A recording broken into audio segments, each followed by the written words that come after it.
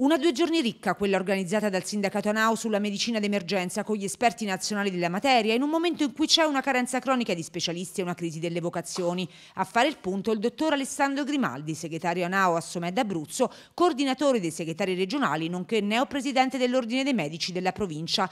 Tante le criticità e i cambiamenti emersi durante il Covid e quindi c'è una necessità importante di riorganizzare e migliorare la funzionalità del sistema ex ospedaliero di emergenza-urgenza, ma sono sempre di meno i medici che scelgono di avviare questa specialistica.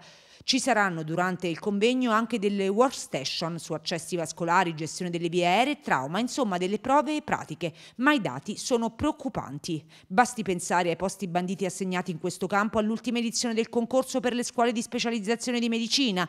I dati forniscono un quadro impietoso, appena 304 contratti sono stati assegnati su 1020 disponibili, ovvero il 30% del totale. La specializzazione dunque va resa più attrattiva.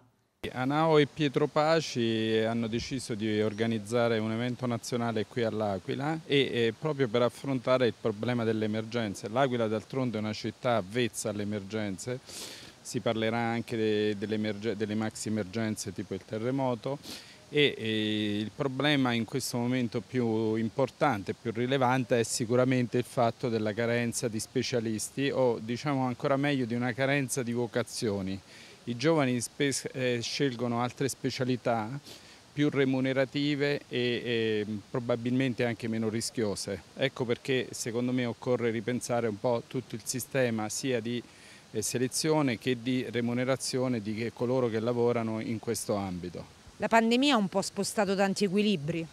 Beh sì, molto, ha fatto capire che l'Italia ad esempio aveva 5-6 mila posti di rianimazione mentre la Germania ce ne aveva il triplo quindi bisogna investire molto eh, considerando anche che abbiamo mediamente una popolazione anziana, quindi è necessario dare una svolta. Purtroppo questa svolta non si vede molto all'orizzonte perché come vediamo gli investimenti sulla sanità rimangono pochi rispetto al PIL, spendiamo mediamente il 6,2% del PIL quando altri paesi spendono l'8 e il 9% come la Francia e la Germania.